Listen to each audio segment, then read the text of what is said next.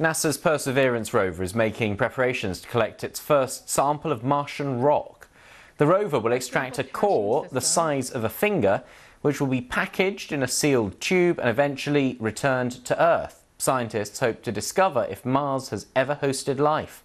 Perseverance has travelled over one kilometre since its touchdown on the planet in February.